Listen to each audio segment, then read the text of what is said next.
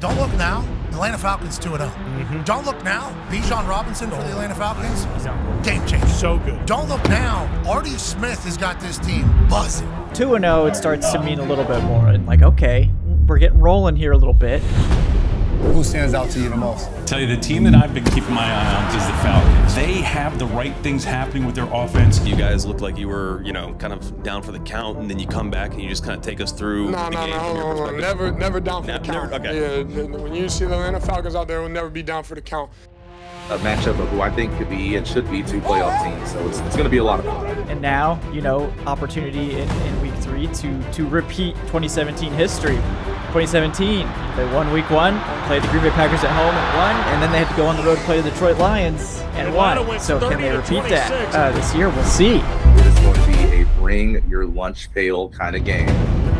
I watched him this year in training camp, and I felt an energy, and I saw some things happening with head coach Arthur Smith, and a group of players were really coming together well. Hey, this is going to be the deciding factor. Can he actually win on the road? To look forward to with the Atlanta Falcons, I Oh, think. yes.